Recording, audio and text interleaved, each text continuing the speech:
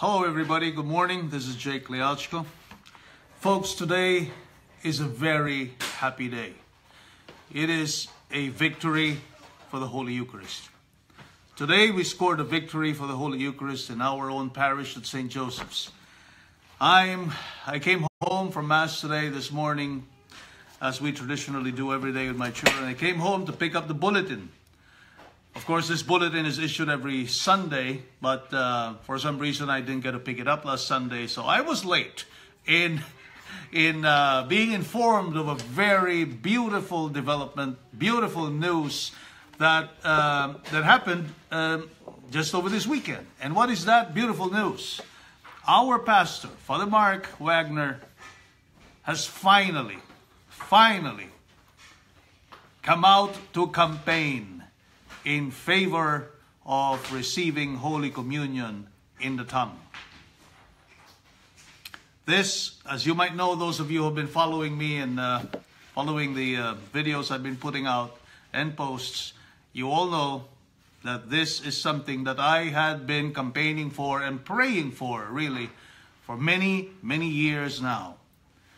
And it is a, uh, I'm happy to note that finally, uh, our pastor and our parish has come to understand and to realize that there is a better way, that there is a more reverent way of receiving our Lord in Holy Communion, and that is to receive Him in the tongue.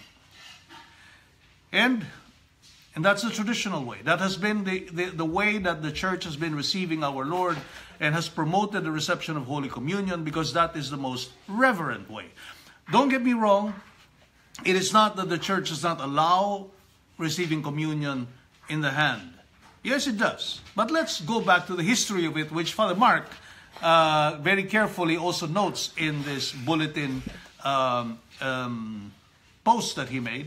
And what does he say here? For many centuries, communion was distributed only on the tongue until the early 1960s when this church law was disobeyed in several European countries, particularly Holland.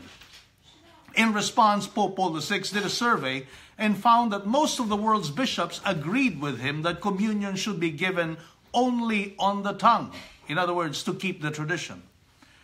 He only granted a special exception to the, to the general rule, which is called an indult, to some countries allowing communion in the hand on the condition that there would be complete avoidance of any cause for the faithful to be shocked and any danger of irreverence towards the Eucharist. In some countries, at the Vatican and at the Vatican, communion in the hand is still not allowed. Very clearly, and thank you, Father Mark, for bringing it up and for enlightening your parishioners and then the faithful about the truth behind this practice, that it was occasioned by disobedience to the church law. And, but you see, the Pope is a father. The Pope and the church is a mother. And as a mother and a father, sometimes parents like, like us need to do some kind of an accommodation. We need to bend a little backwards in order to, well, uh, avoid uh, um, uh, unintended consequences of uh, imposing uh, rules in a more uh, rigid way. So, that is understandable on the part of the Pope. But remember and bear in mind that as good and obedient and, and, and faithful children of the church, we should always be uh, um, erring towards the side of more reverence, more respect, more dignity in accordance to our own situation vis-a-vis the one we are receiving, who is God himself, hidden in that, in the species of bread and wine. There hidden, as St. Thomas Aquinas says in the Adoro Te Devote, that beautiful prayer that St. Thomas Aquinas composed, there is hidden, okay, the, the divinity of our Lord. Not only his humanity is hidden, but the divinity, body, blood, soul, and divinity is also hidden in the Eucharist. If we have faith in the fact that the sacred host and the, and the wine uh, are indeed the body and blood, soul and divinity of Jesus Christ upon consecration, then really the most reverent way of receiving our Lord would be on the tongue and to avoid as much as possible any contact with any other part of the body. So you see, when we receive our Lord in our hands, which by the way, again, as I would clarify, is allowed by the church. Uh, uh, when we receive our Lord in the hand, particles of that host get in contact with our hands, with our fingers. Okay? What do we do with that afterwards? Do we just wipe it off and say, okay, done with those particles? You wipe it off on your shirt or wherever it is. well, you, you just put our Lord in every other thing that you touched. Now, is that reverence? Is that according our Lord the dignity that he deserves? So, folks, uh, there's no question about the reception in the tongue being the most reverent way. So I really congratulate Father Mark and I congratulate the parish for finally um, uh, uh, promoting this practice again. And I would encourage all of you, all of you, um, read this bulletin article. Uh, you know, I don't want to dwell it, on it anymore. Those of you from St. Joseph, pick up a copy of this. And those of you who are not from this parish, I mean, it's all a question of uh, asking yourselves, what is the more reverent way? What is the more respectful way? And ask yourselves, are you really worthy? You know, the priest's hands are consecrated for that very reason of holding the Eucharist. That's why, you know, in the, in the olden days, and there's another practice that has been lost among priests, after the consecration, they keep their thumbs and their uh, pointers together like this, their uh, four fingers together like this. You know, they don't separate them. Why? Because in order to precisely preserve the particles that were that, that stuck to those fingertips upon the consecration.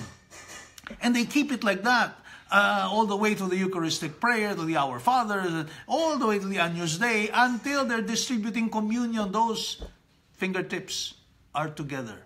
And they only get separated again when they wash their hands after uh, communion, when they start to purify the vessels and purify their hands. That's the only time that they let go of those fingers. And all because of the dignity that needs to be accorded to the sacred species, body and blood, soul and divinity of our Lord in that host. What more us?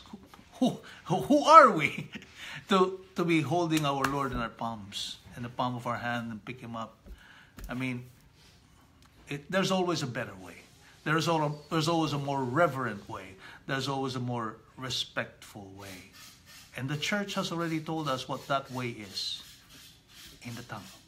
So he goes directly into our bodies without any other part of our bodies touching him and without risking the indignity he may suffer from all of those particles of the host getting spread around every which way. So, folks, I encourage everybody give thanks to God for this twist in our own parish. Give thanks, you especially from St. Joseph who are listening to me. Let us give plenty of thanks to our Lord for this particular grace that has finally dawned upon this parish. A realization that we are at a turning point, that we better make.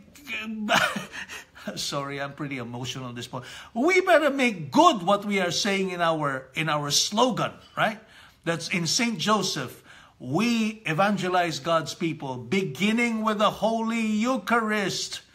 Let us show that respect, that reverence, that love, that faith in the Eucharist by receiving our Lord with devotion, with love, with reverence, with respect, with dignity, beginning from receiving Him in our tongue. And you know what? Maybe there'll come a time, let's push it a little forward Receive Him on the tongue and on your knees. On your knees. What more reverence, what more dignity can you give our Lord than that of receiving Him down on your knees for those of you who are capable and able and strong enough to be on your knees. Receive Him on your knees, on the tongue. And that way, you are giving all the due respect and reverence and dignity to Jesus Christ. Well, folks, I cannot be any happier than today. Let us give thanks to our Lord, to Our Lady, for this very big grace. And let us give thanks to Father Mark. Those of you who are listening to me from St. Joseph's, let's give thanks to Father Mark for finally coming around and doing what's right.